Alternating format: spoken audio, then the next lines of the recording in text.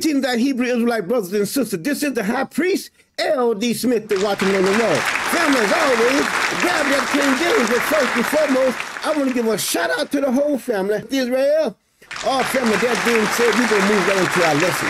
And as always, the Most High have given us a fine, fine teaching. And family, um, I had a little, uh, a little cold that I'm trying to get over, and that that's why you may hear it in my voice a little bit, but nevertheless, we're gonna press on. All praise, all praise. Now, family, I always ask you guys to read along with me. I ask you guys to think about the reading. Listen to the words that are coming out of your mouth. And I know that the Most High will give you a clear understanding. And that being said, um, I think I named this one um, something uh, along the lines um, the Most High Kingdom ruleth over all. And see, family, um, we're just going to talk about that for a minute and then we're going to get into our, our lesson. Because I want you to get in the frame of mind that everything that the Most High had said is going to come to pass. Everything that, every word that has came out of, uh, out of, out of his mouth is going to transpire. And family, what you have to understand is, yes, we're going into some, uh, to a, a, a, a, a critical time now. Yes. Yes, there is that there's something on the horizon the high priest don't know what it is, but the high priest does know that it's trouble. There's trouble on the horizon. Uh, I'm gonna I'm, I'm, give you guys a, a little brief um, uh, uh, uh, uh overview of what happened uh, uh, a couple nights ago.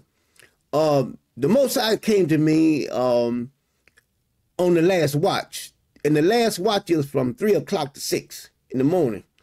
And the Most High showed me something like a cup. And it had writing on it. Something like this cup right here. And it had a line that divided the cup in half. And up here around this area here, it, the words was written. It was a red cup, and the words were written in, black. It says, warn my people.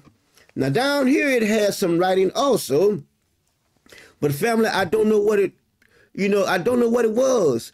I mean, I can't remember what it was, even though uh, I I could see the letters, and it, it's not that I could not pr pronounce the letters, but it's like I saw it, but I didn't see it. If that makes any sense to you at at all, I'm, I'm trying to explain.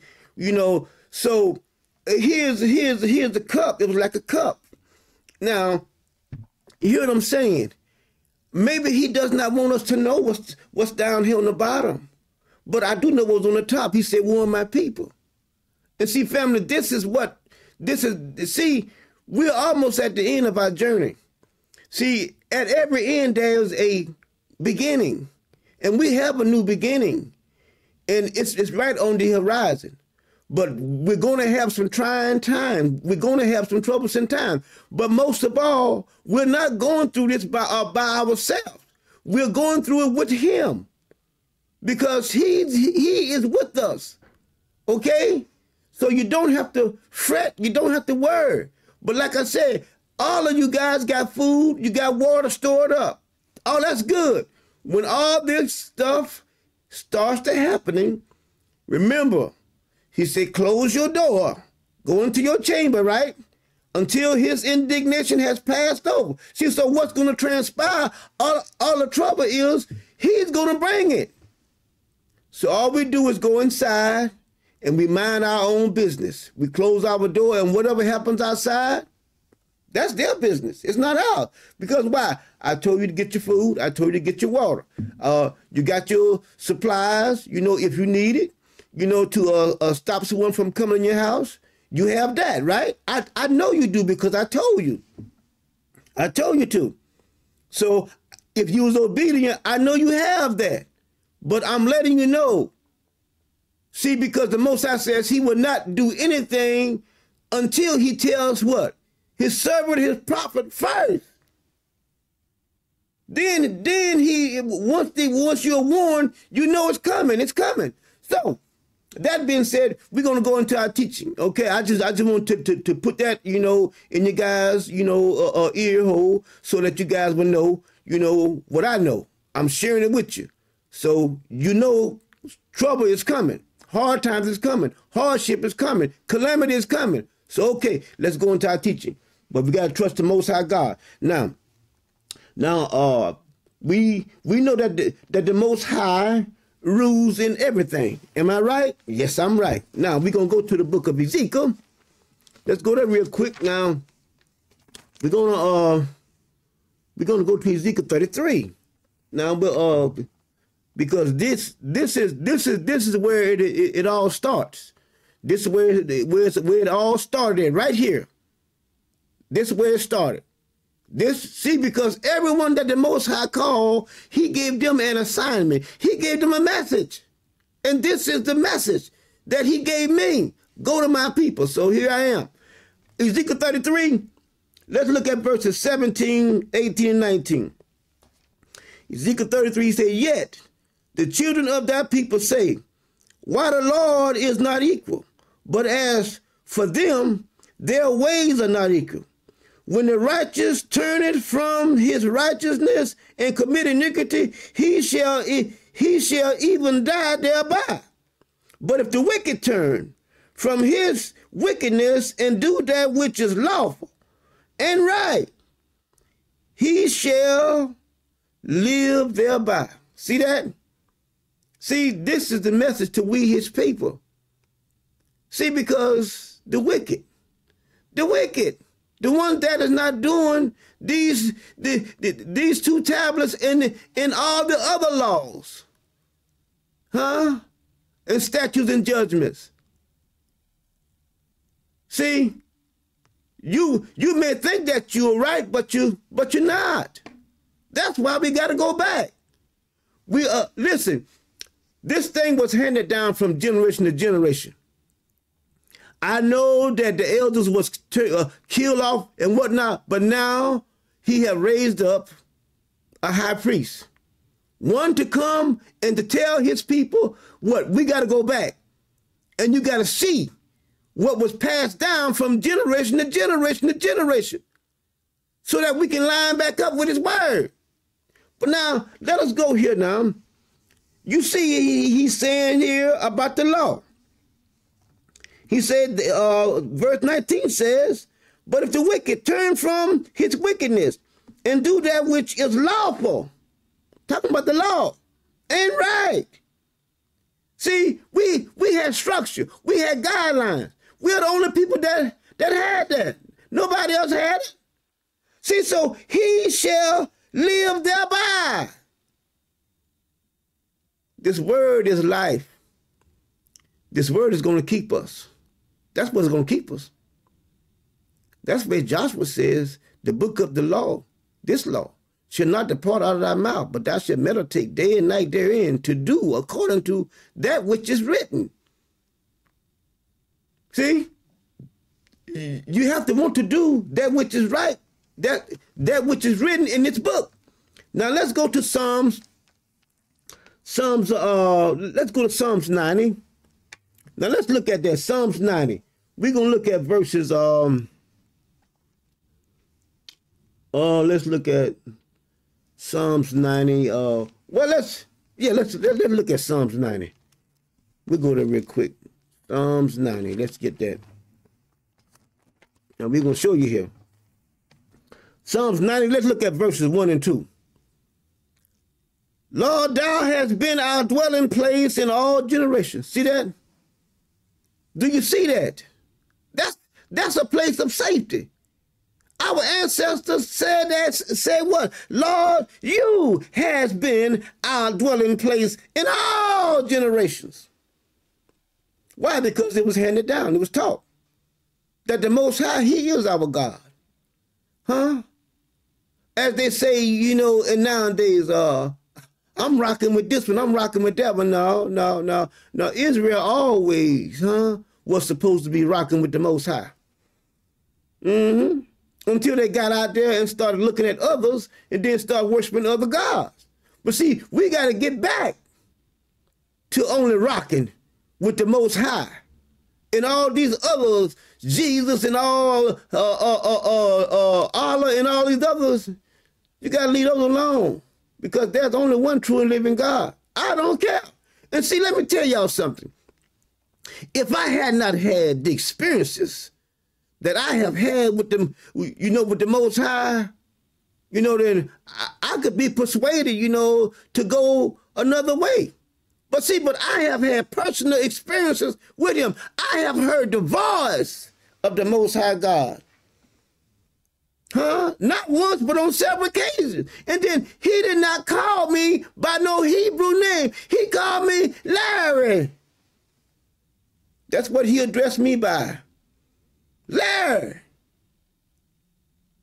What do you want? And I told him.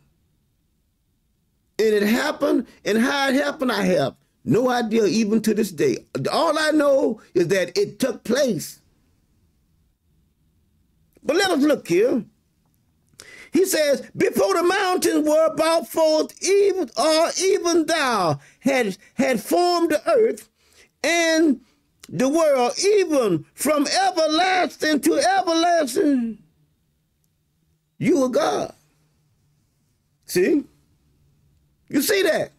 This is the frame of mind that I'm, I'm, I'm trying to get all of us into. See, away with all the other stuff. You can't think, you know, about, well, you know, I think, forget about that. Forget about that bullshit. Think about this. God, the Most High, He is God. And leave it as that. You want to be a servant? Okay, well, I'm going to do everything you say do. I want to do it. See, that's the attitude that you got to have. You want to be a servant? Okay, well, I am a servant. A servant does what? Serve and does exactly what the individual asked him to do. And most of all, he says, do not have any other gods before me. That's what, I mean, honestly, we have to look at that.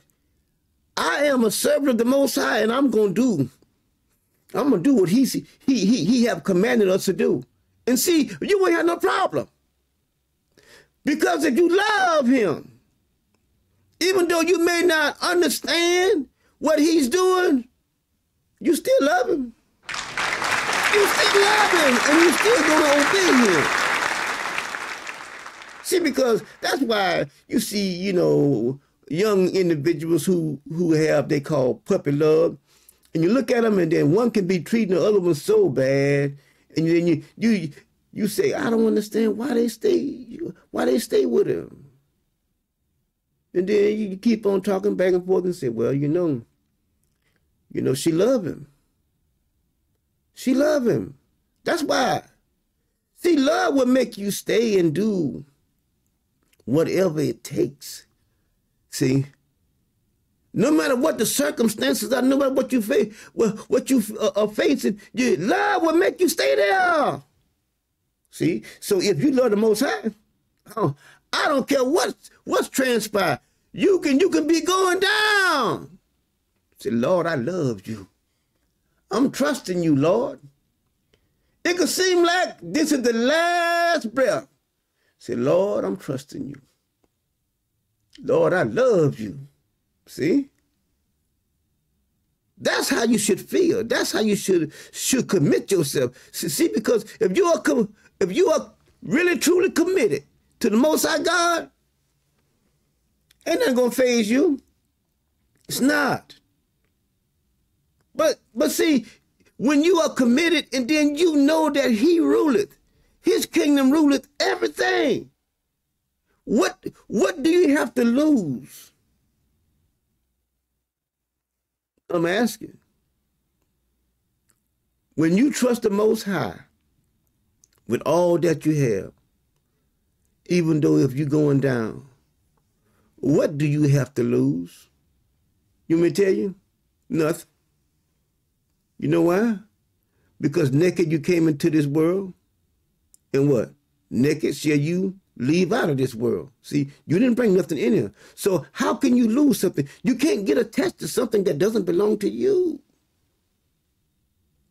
But what you need to be attached to is that which belongs to you. And that's him. He said, he said, they are my people, and I will be their God. Get, be attached to that